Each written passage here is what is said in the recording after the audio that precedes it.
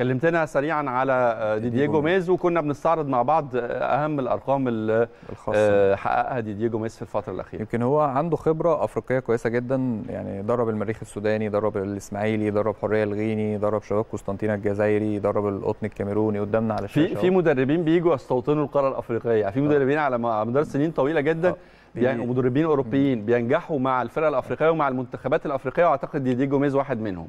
بس هو برضو دي دي علامة إن هو برضو ما يعني ما بيقعدش فترة طويلة في آه. نادي. يعني لعب مع الإسماعيلي مثلا تسع ماتشات كسب اثنين اتعادل أربعة خسر ثلاثة برضو كان يعني عنده خبرات عنده خبرات آه. أفريقية ولكن هو مدرب دفاعي. طريقته الدفاعية نوعا ما أو لحد كبير بيلعب بأسلوب دفاعي. مع أي من الفرق اللي, اللي تولى مسؤوليته؟ أنا شايفه اشتغل في الكاميرون مع القطن اشتغل مع شبيبة هيبقى قسطنطينه كمان- الجزائري مع البن الإثيوبي مع هوريه الغيني مع الإسماعيلي حقق حاجة مع واحدة لا من الفرق. دول هو. وصل بس يعني نص نهائي آه، كل التاريخ نص نهائي بس الكونفدرالية 2012 أو 2013 لكن هو برضه هيبقى عارف النادي الأهلي كويس جدا لأنه كان بيدرب الإسماعيلي طبعا طبعا فهيبقى برضه هو عنده- أي عنده مدرب. شغال في أفريقيا عارف مد- النادي الأهلي كويس بس لما تع- تعرف أو تشتغل في الدوري المصري تديك برضه خبرة عن أي مدرب تاني تمام. لكن طبعا موسيماني يعني يتفوق عليه في السيرة الذاتية بكتير يعني مم.